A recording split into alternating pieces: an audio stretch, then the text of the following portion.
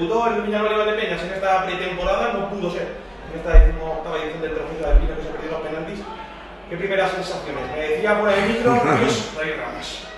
Bueno, pues al final no te gusta entre comillas perder, aunque haya sido en este caso por la tanda de penaltis. Eh, creo que está claro que es el primer partido, llevamos 10 días entrenando, era un partido donde teníamos que coger sensaciones, teníamos delante a un grandísimo equipo, era un test en ese sentido muy exigente.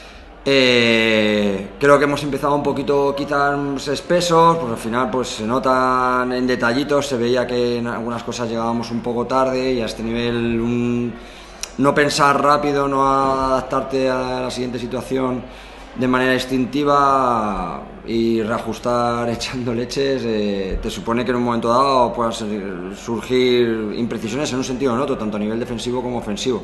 Y creo que nos ha faltado ese puntito, sobre todo en la primera parte. A partir de ahí, Creo que en la segunda parte sí que hemos entendido un poquito mejor algunos aspectos, hemos sido mucho más prácticos, hemos delimitado mucho los, los patrones que queríamos usar, si ya los teníamos acotados de por sí, porque está claro que los jugadores ahora mismo tienen mucha información y sobre todo a los nuevos, pues eh, les cuesta plasmar, como decía antes, de manera instintiva los detalles.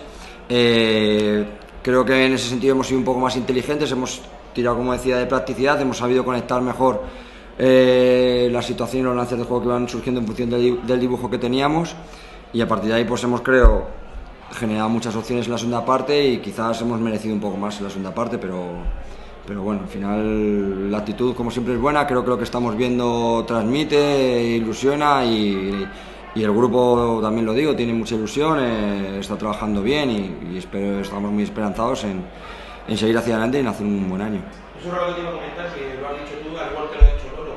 Habéis ido de menos a más y con esa sensación en la que quieres tú arrancar ya en los próximos encuentros de, de pretemporada e ir a más, eh, contando con esas cuatro vosotros por, por abajo de los internacionales.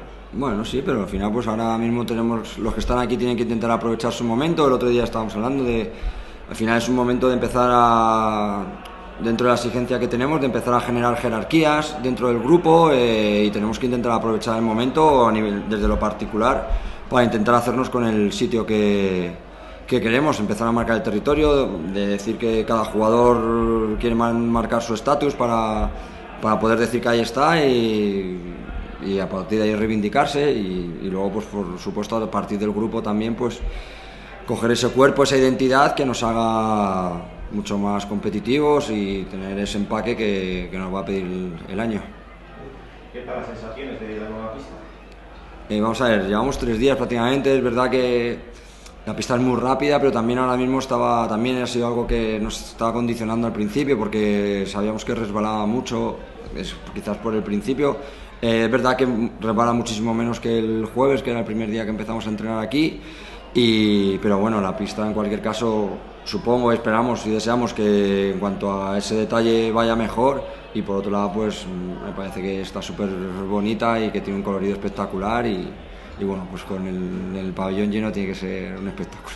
Ya para finalizar lo que te voy a comentar, mm. cuando esto ojalá lo permita la pandemia, el infierno de la Mancha esté lleno, qué bonito va a ser. Pues sí, lo estábamos hablando ahí cuando estaba sonando el himno, se lo estábamos comentando, lo estaban hablando entre también los nuevos. Eh, todo el mundo tiene muchas ganas de, de, ver el pabellón lleno, de respirar otra vez el ambiente que se vive aquí. Es un lujo, siempre lo decimos, es una pasada y, la verdad que estamos deseando disfrutarlo a tope. Muchas gracias, David. Seguimos. Venga, un abrazo.